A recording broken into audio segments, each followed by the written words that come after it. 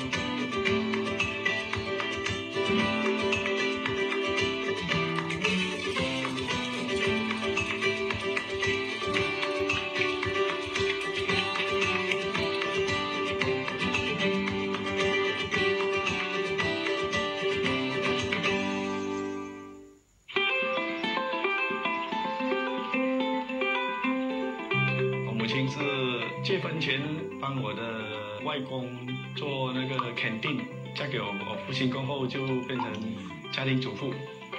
我是每次在在厨房里看看我母亲怎样煮东西，电话一响，我母亲就去接电话的时候，我就啊赶紧跑去炒炒炒炒炒炒炒。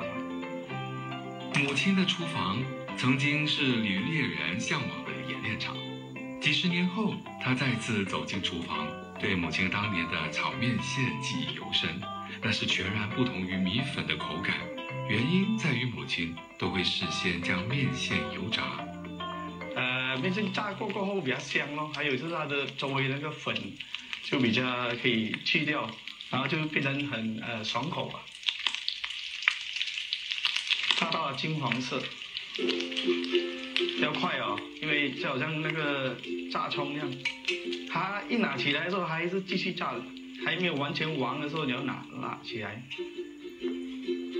接下来就是放水了，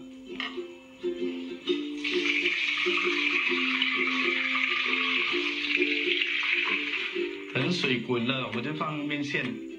面线中的面筋蛋白经过高温处理之后，有更稳定的结构，于是相对的更为耐煮，不容易断裂稠糊。旅猎人还把汆烫过的面线放到冰水中浸泡，让面线在冷缩原理下口感更为爽滑。放冰了，你看很长了啊，它已经变成有弹性了。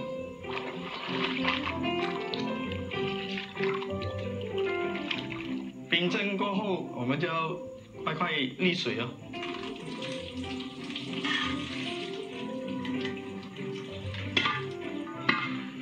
开始要做高汤了，啊，面线处理好了，现在我们要准备呃炒面线的高汤。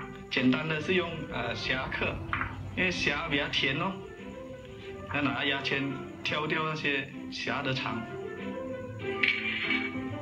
旅猎人以虾壳、虾头下锅煎香，减少腥味，然后捞起滤油，加水煮成高汤。现在我们准备呃炒面线的食材，是有这两的鱿鱼切丝，有一点海南人的那种特色，鱿鱼炒那个韭菜，鱿鱼炒木瓜都是用鱿鱼，整道菜鱿鱼的味道很很香。现在我们切萝卜丝，我们海南人有一个特色，切东西很大片，大气啊。从选用的材料与切东西的习性，也可以判断籍贯的属性。这就是食物与人的微妙关系，像胎记一样，永远磨灭不去。材料准备之后，便下锅爆香了。鱿鱼丝、蒜米、大葱、红萝卜丝、冬菇丝和虾仁顺序下锅，不一会儿便可以添加高汤。